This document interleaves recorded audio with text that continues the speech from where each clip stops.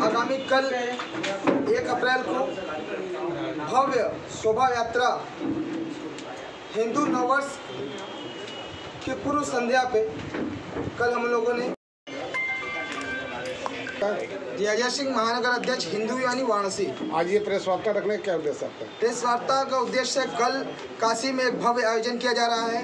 प्रत्येक वर्ष की भांति इस वर्ष भी काशी में हिंदू युवा वाहिनी द्वारा भव्य शोभा यात्रा हिंदू नववर्ष में निकाली जाएगी इसमें सभी काशीवासियों को सादर आमंत्रित किया जा रहा है। ये शोभा यात्रा कहाँ से कहाँ तक ये शोभा यात्रा मैदागिन अपने गुरु गोरक्षनाथ मठ पेट्रोल पंप के सामने है।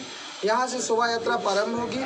शोभा यात्रा यहाँ से मैदागिन चौक लीची बाग होते हुए बासपाटक होते हुए चैतन्य पार्क पे समाप- समापन मुख्य अतिथि ये शोभा यात्रा के कौन होंगे? हमारे इस कार्यक्रम के मुख्य अतिथि काशी के अन्नपूर्णा मंदिर के महंत श्री शंकरपुरी महाराज जी होंगे।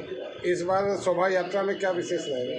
शोभा यात्रा में इस बार विशेष एक झांकी राम दरबार सहनाई डमरू दल शंखनाद और भी बहुत से ऐसे चीज़ों को जोड़ा गया है कि इसमें काशी में बहुत सारी भव्यता लाने के लिए प्रयास किया गया है। वैसे कितने भीड़ की संभावना है?